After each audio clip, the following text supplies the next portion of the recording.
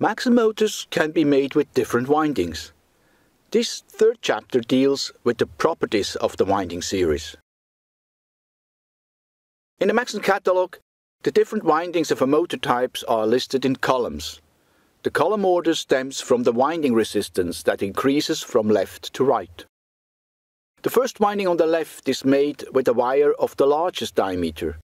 Only a few winding turns can be placed in the air gap between housing and permanent magnet. Correspondingly, the resistance is low and only a low voltage is needed to drive relatively high current.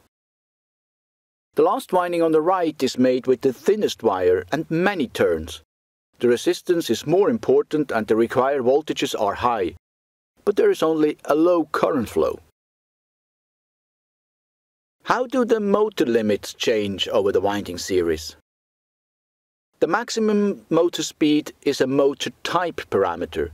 The value is the same for all the windings.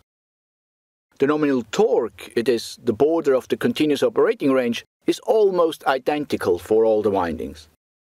We have to conclude that the mechanical motor limits, speed and torque capabilities are independent of the winding selection. How does the speed torque line change over the winding series? The speed torque gradient is almost identical. Each winding has its particular nominal voltage. It is selected to give a similar no-load speed for all the windings. Accordingly, the stall torque is very similar too. Again, from a mechanical point of view, we get a very similar behavior for the different windings. Here is a graphical representation of the windings of the previous slide. The operating range diagram of one winding can stand for the full winding series.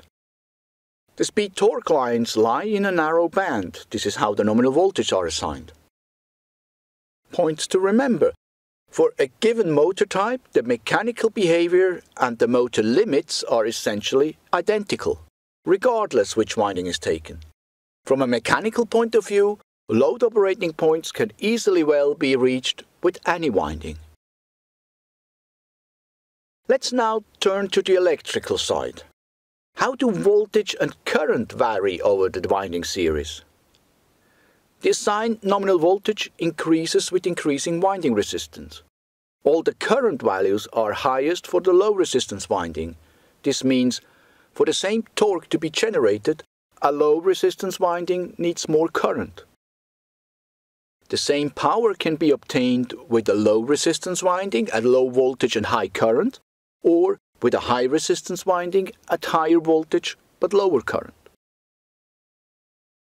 Any winding can reach similar speed and torque, however, with different electrical input voltage and current. The increasing voltage over the winding series is counteracted by the decreasing speed constant. As a result, similar output speed can be reached with the different windings. An analogous statement can be made about current. The lower current of the high resistance winding is compensated by a higher and higher torque constant resulting in the same output torque. Here is a graphical representation of the previous slide. However, this time we observe all the windings at the same voltage of 24 volt. That's typically what you have in an application. The available voltage is given.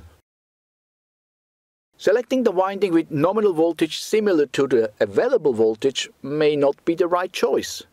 Here, the acceleration cannot be fully achieved when selecting the winding with 24 volt nominal voltage. The winding to the left with a higher speed constant and nominal voltage of 18 volt covers all the operation point easily when operated at 24 volt. A speed or position controller will adjust the motor voltage to the lower values needed. However, the current requirements are higher as can be seen by comparing the needed current for 10 mN of torque. The windings with even lower nominal voltage of 12 volt or even 9 volt won't make good use of the available voltage. The controller would have to reduce the motor voltage a lot, and the currents needed are much higher. The other two windings with higher resistance and nominal voltage cannot reach the required speed because their speed constant is too low. The key message is select a winding with a high speed constant, but don't go too high for keeping the required current small. Some key messages to keep about motor windings. All windings of a motor type can produce the same mechanical output. It is speed and torque. From left to right, the winding needs more voltage, but less current. Select the winding that fits best your power supply. That's it. By the way, you can find chapter 1 and 2 of this tutorial in separate videos. They explain motor operating ranges and motor behavior.